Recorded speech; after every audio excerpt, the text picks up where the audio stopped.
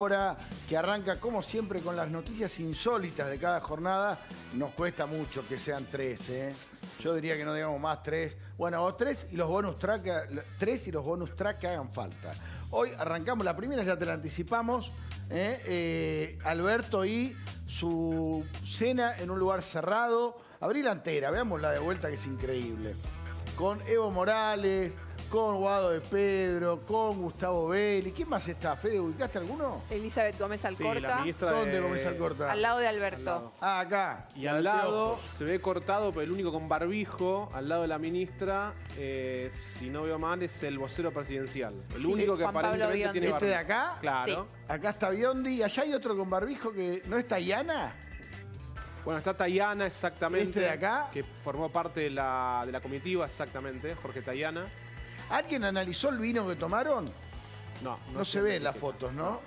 Tarea, tarea periodística clave, ¿eh? Ver si toman un vino de 300 pesos o de 3.000. Y deberían tomar de 3.000, Tato. ¿Vos decís? Sí, yo creo que sí. No deberían.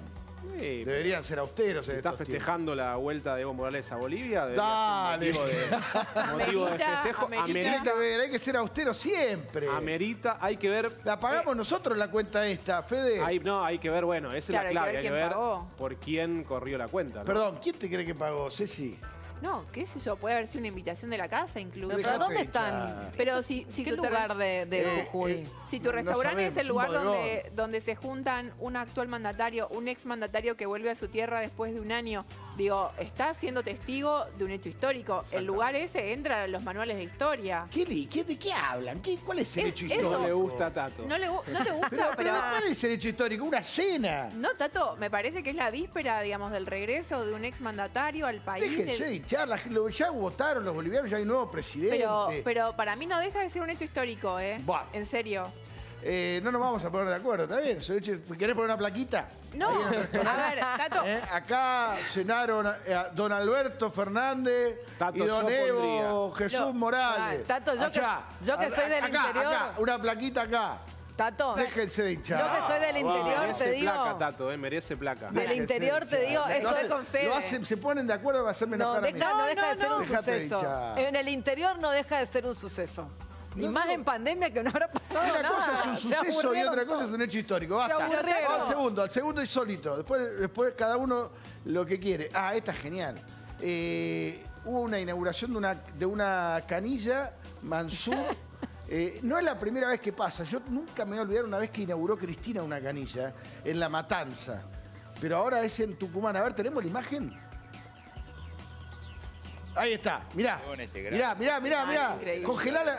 Ah, hay video y todo. Que ha sido acompañado permanentemente con una gran legisladora como es Graciela Gutiérrez, con todo el equipo de concejales que han venido acompañando permanentemente la gestión de Aldo, cumpliendo un año de gestión, este gran intendente de la ciudad de Alderete, Aldo Salomón, que ha sido acompañado... Sale agua, ¿eh? Con una gran Y si no, peor sería si no saliera agua, Tato. y acá está la foto. Y sale agua. No solo una canilla, una canilla con agua. Dios mío, qué, qué miseria. Qué pobreza, ¿no? Y está todo mirando, mirá, mirá, mirá este. Mirá, este, mirá, mirá cómo mira, mirá la, pose del tipo mirando la canilla. Sí, sale agua, le dicen. Increíble. Aplauden. Uno aplaude, otro ya aplaude. Muchachos, así, no, así va a costar, ¿eh? Va a costar sacar el país. Va a costar. Si celebramos una canilla. Este de acá se mata de risa, mirá. Este se está matando de risa detrás del barbijo, se nota. Tercera insólita del día. Tolosa Paz, funcionaria del Ministerio de Acción Social, ¿no? De Desarrollo Social. Sí.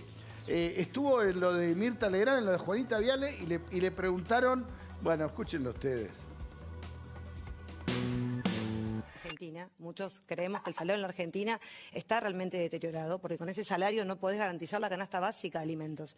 Argentina tiene dos formas de medir la pobreza, básicamente la pobreza por ingresos y luego si no llegas a la canasta básica de alimentos sos indigente. Hay como dos líneas claves, la indigencia y la pobreza. la pobreza, En la Argentina la canasta básica de alimentos es de 6 mil pesos. Una persona, un individuo para poder comer, desarrollarse y moverse mínimamente necesita ese límite. Y en la Argentina, lamentablemente, hay un número muy considerado, muy alto, este, de indigentes todavía. Más de 3 millones de personas en la Argentina son indigentes. Y el 40.5% de la población no llega a la canasta básica total, que es alimentos y el combo de los servicios esenciales, que se y ampliaron. ¿Y la cuarentena o la pandemia, no la cuarentena? 6 mil pesos, dijo Tolosa Paz.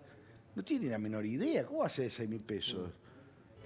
Es un tercio. Dijo lo que, lo que dijo es un tercio de lo que realmente es. Está arriba de 18 Hoy está pesos. 18 mil y pico. Claro, 18 mil y pico. Cambia todo el tiempo. La canasta básica, obviamente, que cada vez que sube, eh, cada vez que, perdón, que, que- que- que- sí, cada vez que sube, caen más los pobres.